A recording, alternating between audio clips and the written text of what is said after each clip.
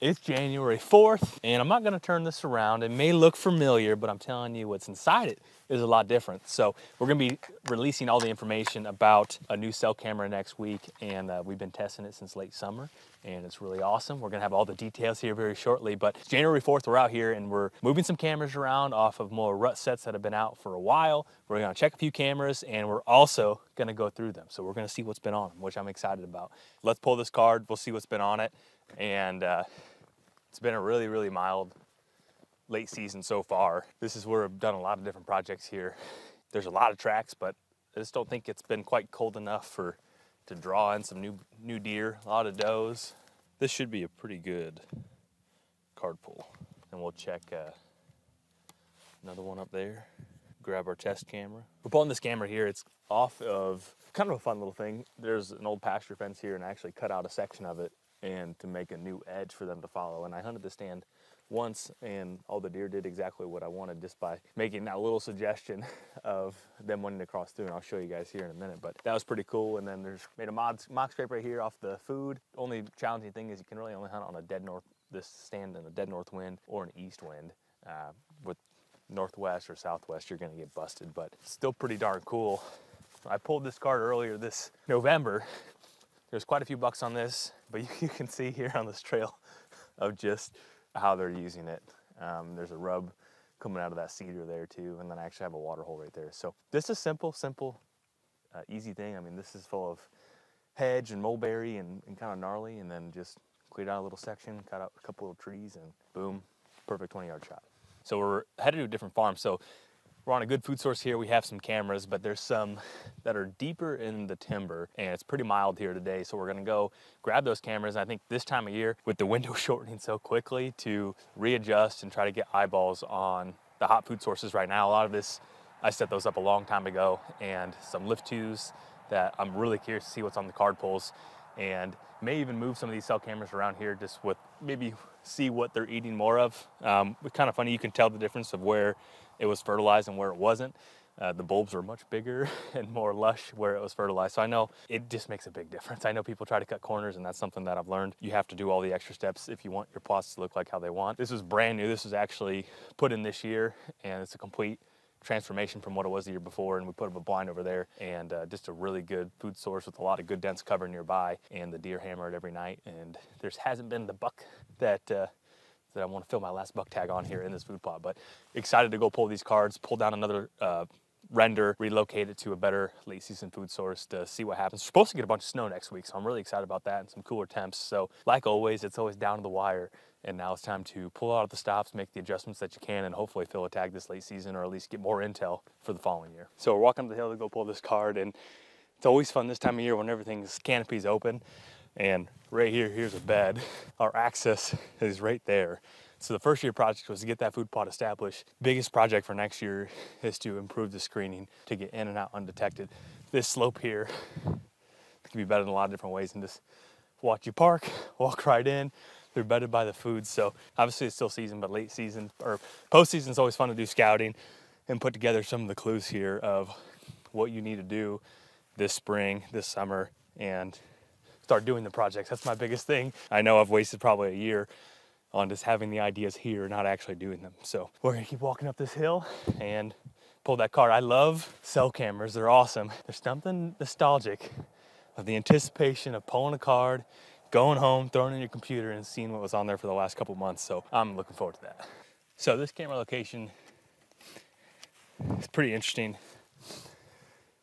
Old trail that runs here, flat open hardwoods, food plots down there, and this, for whatever reason, put a camera up here the first year we had the farm and it was really productive. And I always tell myself I'm gonna put a cell camera here, but how you guys will see the view of this, it has to stay as a lift two on video mode until we come out with the next one. There's a larger ag field right over there. A lot of the predominant bedding is actually on uh, this farm. And so you can kind of get an idea what's filtering in and out, what's going to, to ag, what's coming back in the morning, and then also during the rut. There's a lot of chasing through this area too. So this would be the third year, I think, that we've had a camera here. And the historical data does come into play where where's that buck been? And then check the calendar. Usually he's back again. So unfortunately, the deer that I was hunting here, ended up getting killed November 7th, I think it was. But I'll be curious if this uh, this buck was on camera uh, during that time period. Usually he was showing up a little bit later in November. If I had to bet, there's gonna be a sweet video of him on here, and that's the way it goes. Here's a really good rut set, and even uh, during Velvet, it was really productive getting intel. Now that we're just trying to allocate our resources to make the most of this late season food sources, we're gonna move that to that type of location. And this set typically dies down as the rut dwindles. So time to redistribute. So just for perception here, that bed that was way up there that you could easily just see us walk in and out of, looking up that direction, you're gonna have to have an eagle eye to see that deer bedded. I mean, there's just a lot of thick stuff through there. And so we're gonna head out of here and I'm dying to see what's on these cards. So let's go look and see what's on these cards. All right, this is from the food plot that we're talking about improving. So there's Richard, there's me. We'll go through this quick and see what we find. Little bucks. He's kind of funky. So he broke some stuff off.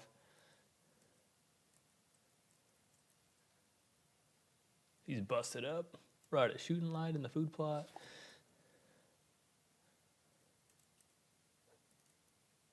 So that's where we put the cell camera. It'll be fun to see in real time. One thing a lot of, I think a lot of people, maybe a couple years ago, maybe not anymore, a little sparring, is the fun thing with cell cameras, and that's what I, um, the fun thing with cell cameras is the fact that you can just monitor the activity based on the weather, barometric pressure, the moon phase if you're a moon person, and uh, I think that's probably one of the fun things with cell cameras is you can kind of test your hypothesis in real time. And obviously, cameras don't tell you everything, but they'll give you a good idea. And with how this farm's set up, the camera locations are pretty, um, pretty accurate. I'm trying to think where this one's at. I don't know where the camera came from. All right, this one's been rolling around in my truck for a while. Got my SD card organizer. Flipped upside down cards on the right side are the ones we're going to check here real quick. Okay, so this was where we did a lot of habitat improvements. There's the clover buffer strip that's getting established right now. There's oats in it. And as of right now, I have about three bucks I anticipate I will see on here. A lot of coyotes. So this is a deer I passed during second gun season. More, I mean, there's a lot of coyotes.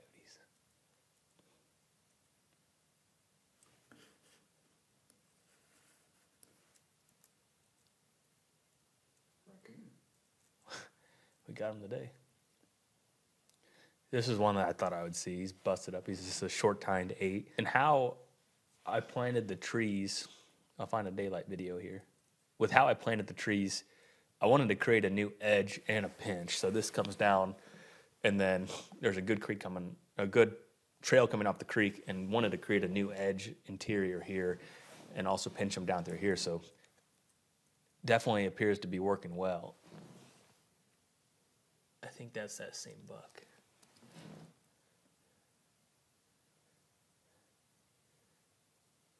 This is a good example though because the overall pop. I mean, you can see there's a lot of does, and uh, I almost guarantee there's deer in those in that backfield every night. But I only have a couple cameras back there. It's not like I'm trying to have total surveillance, but just kind of see what's going on. This is from a different farm. So that's what we've seen. So we, the two bucks kind of anticipated to see have been back there. Not a ton right there. And I'm just hoping they uh, make it through winter for next year. And this is probably the most anticipated camera here. This is the one that we just pulled that has been soaking for a long time. This is fun. Let's go to, let's go to, we know that deer got killed November 7th. So let's see, November 7th in the morning, not him.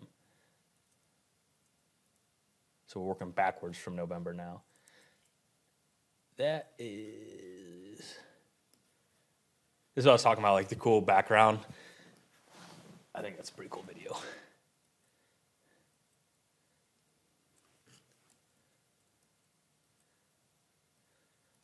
But that deer that got killed, he wouldn't be on this camera as often during the peak of the rut. But actually, last year he was most active during what I'd call the second rut. He was chasing does like December 16th, and uh, even Christmas he was chasing does, and I had him on multiple cameras. So going into the season, I knew there was a chance early, the earlier part of November, and then it actually felt like it would get better the later the year went. but he died, which it definitely happens. And the deer I shot was off this farm November 3rd, so I'll be curious if I have any videos of him. That'd be kind of fun. It's crazy just how much difference.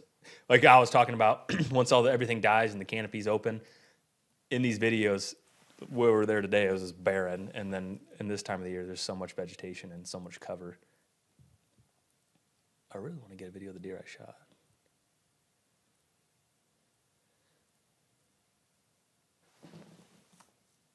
That ain't him. That's a nice eight pointer.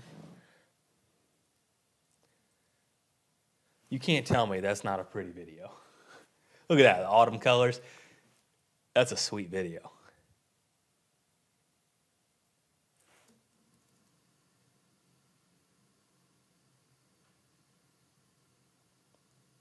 That's probably one of my favorite videos of the whole year.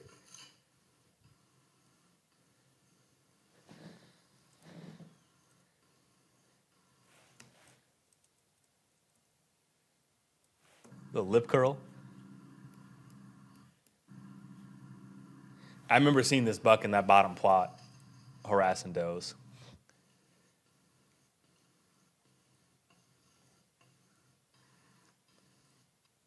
Little sumac right there.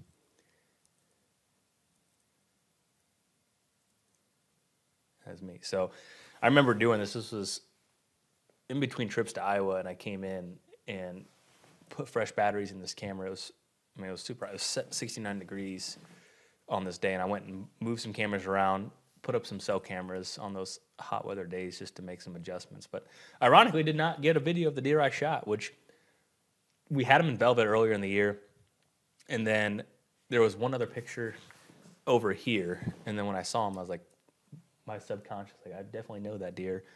He's one I determined I wanted to shoot, and so just kind of worked out that way. And uh, I was hoping we get a lift two video of him. So yeah, um, did not get the picture. Basically, did not get the pictures, the videos of the two deer I was hoping to get, and didn't have a high expectation of getting them on this camera. But as you can see, just picturesque. Kind of this uh, a trail cam junkie at heart. Is this the absolute best place to put a camera? No. Does the sun flare the lens at times? Yeah. But then sometimes in the morning, you get some really cool videos.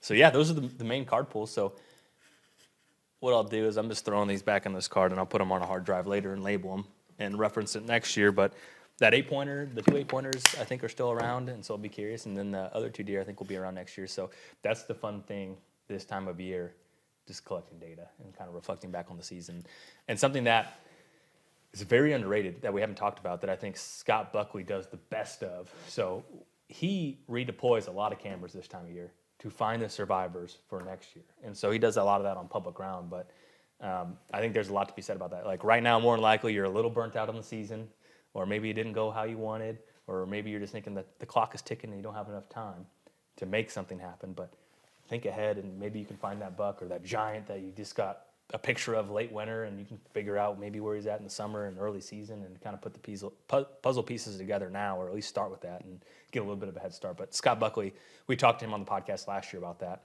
and I, definitely think it's an underrated tactic for this time of year.